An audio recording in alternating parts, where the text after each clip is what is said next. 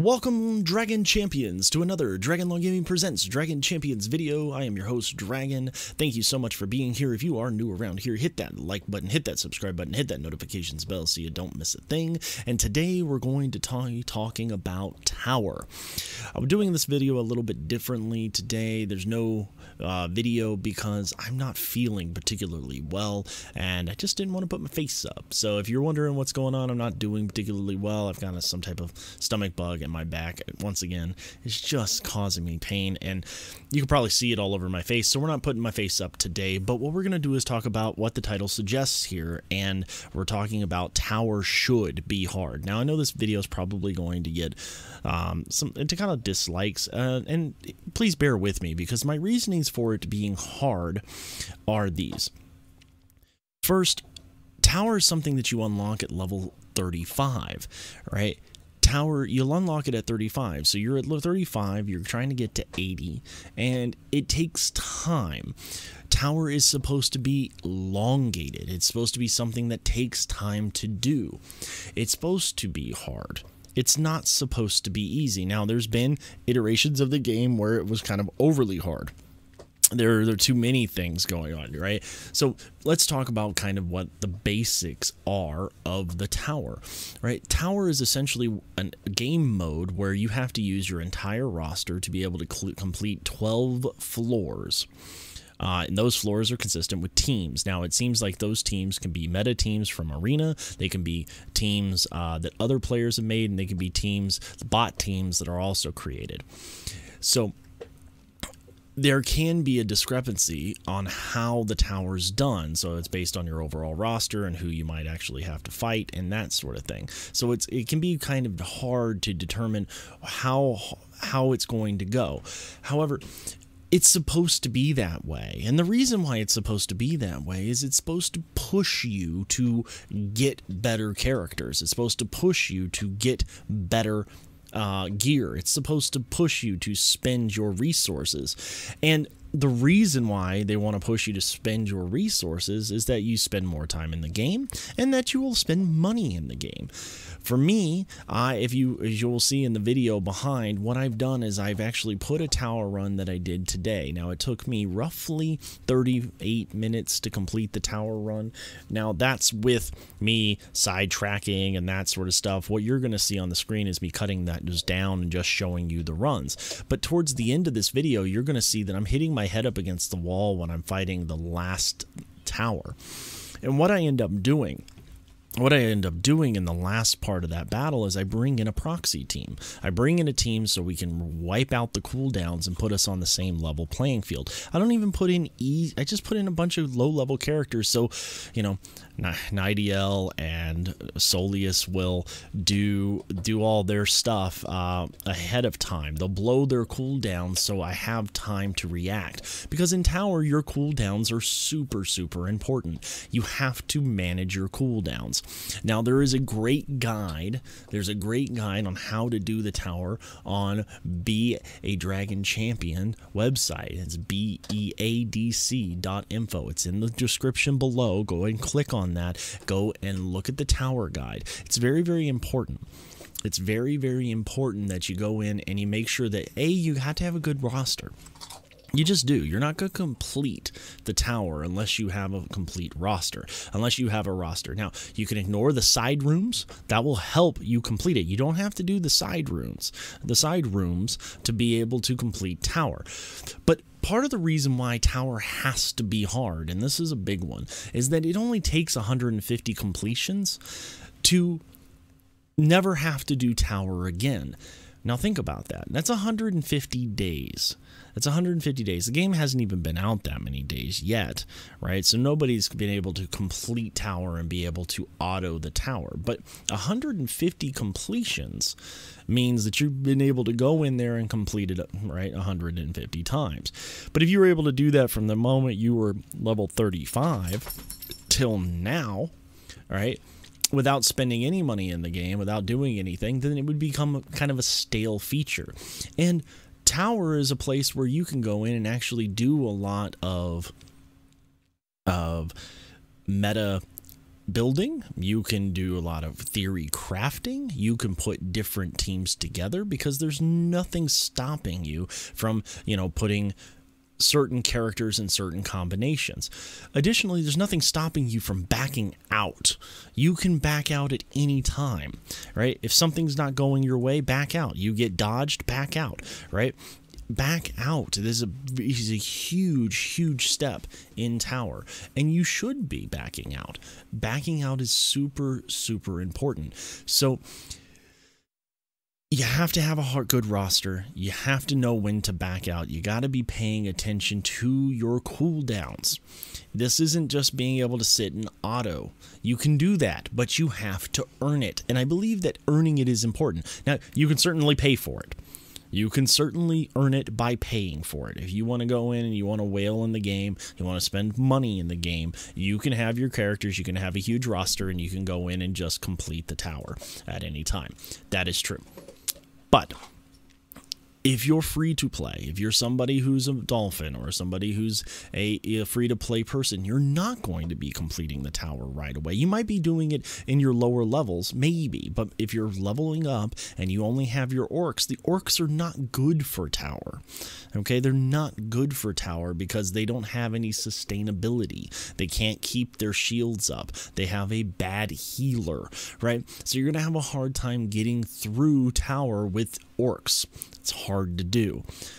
Best character in the game, the best character in the game for the tower is Patriarch Chi.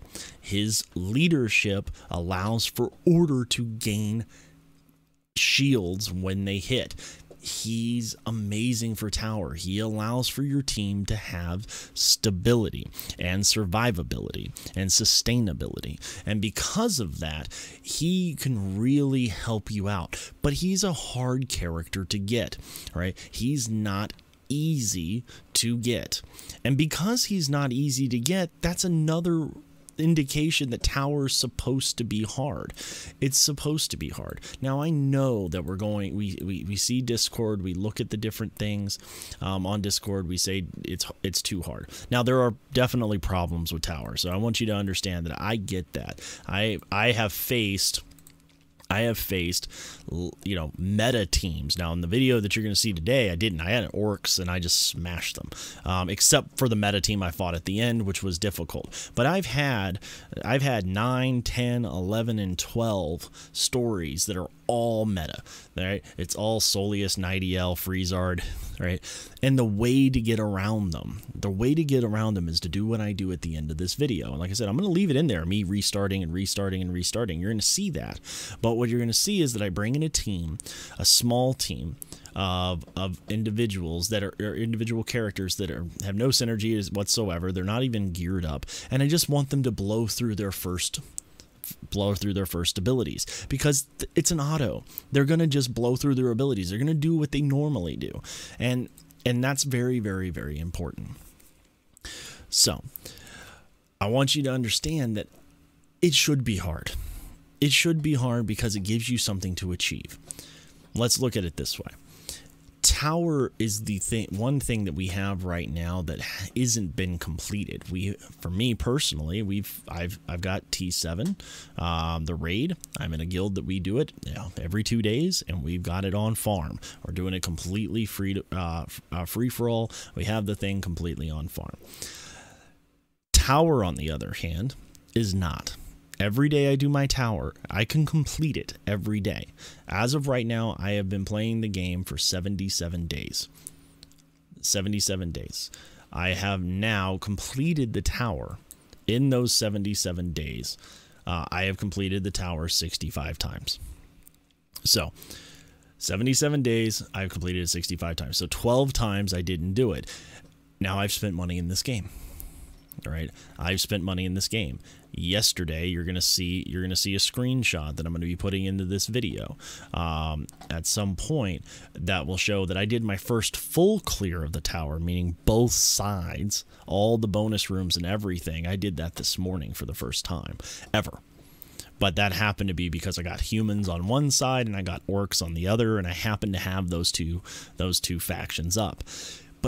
I still have 85 more runs to unlock auto and they're going to get harder. I'm level 80. Um, I've got a lot of tower coins. I've got a big roster, right? My overall power, my overall power in the game is 570,563. So it's going to be tough, right?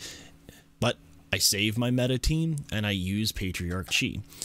So let's talk about Patriarch Chi for just a moment and why he's so good again for the tower. I mentioned it earlier, but I want to mention it again. His leadership sensei, all right, says all ally healing spells apply shield equal to 45% of the healing done, and all attacks by allies from the order restore their shields to uh, 200 or by 20% of their damage dealt.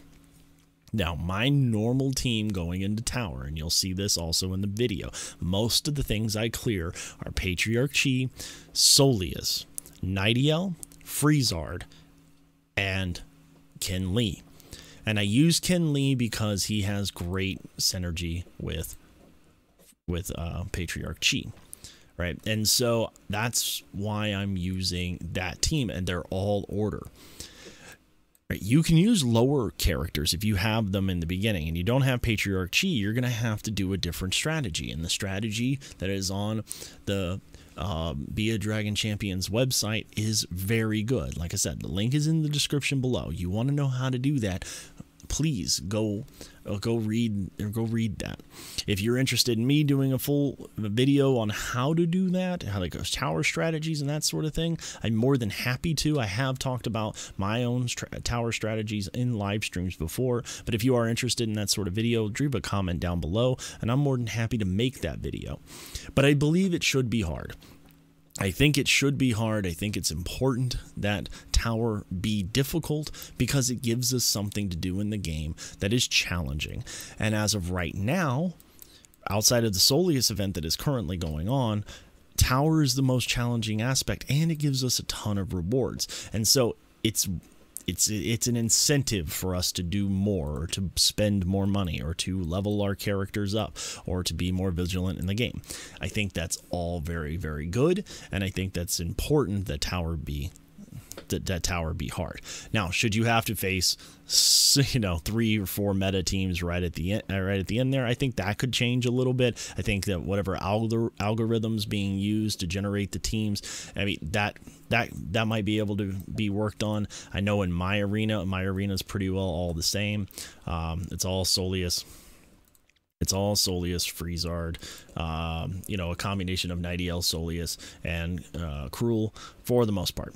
That's that's basically what it is. Uh, there might be some variations, right? But it's basically Soleus, Nightiel, and Freezard, and then some other variations. So Cruel, or uh, you add Cruel in there, and bad a little baddie, or you add uh, Ember uh, in there with Snorri. I mean, it, it, the list goes on and on. I mean, but it's basically those three in that, and they're the best tandem in the game right now.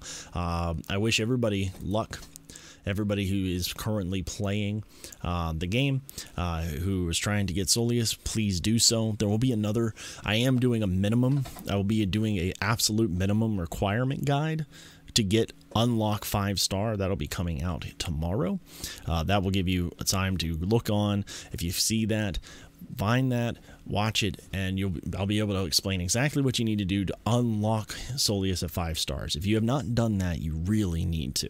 Um, Soleus at five stars is very, very viable. He may not be as viable against other people who have seven stars, but he is such a good character. You really, really need him. Um, if you can get him at seven stars, I showed you what I thought. Uh, there's a great video by Nerd This uh, Carnifex, he has a great video on the minimum requirements that you need to get T7, so to get the star 7 uh, Soleus. So go and check out his uh, link. It'll also be in the description below.